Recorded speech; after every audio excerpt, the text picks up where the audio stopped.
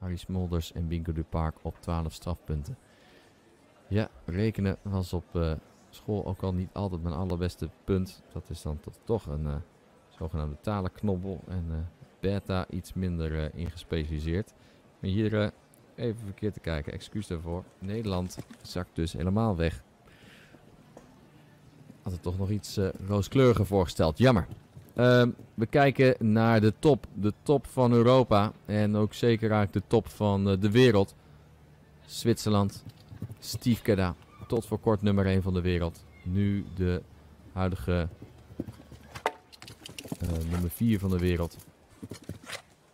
Is een voormalig Olympisch kampioen. Alp Furens Maddox.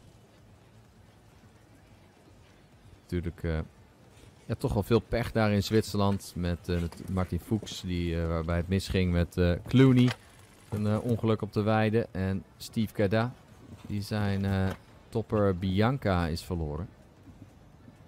Aan een tumor.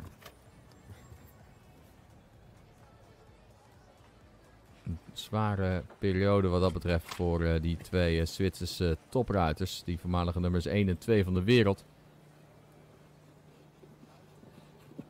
Die op de wereldruiterspelen in trial ook op de tweede en de derde plaats samen op het podium stonden.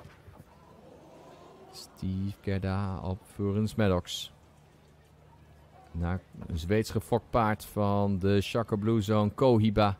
De moeder van Marathon. En Zwitserland voert de druk op.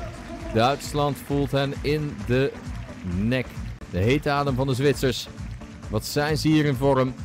Weer een topronde. Nu dit keer van de hand van uh, Steve Kerda.